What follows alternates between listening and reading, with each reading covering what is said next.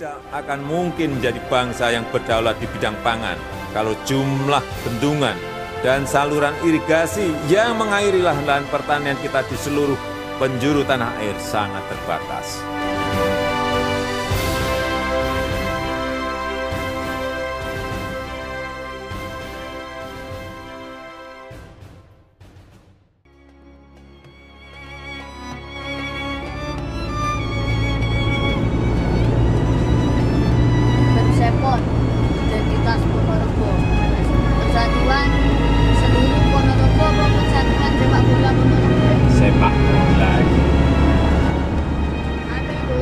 养鱼。养鱼。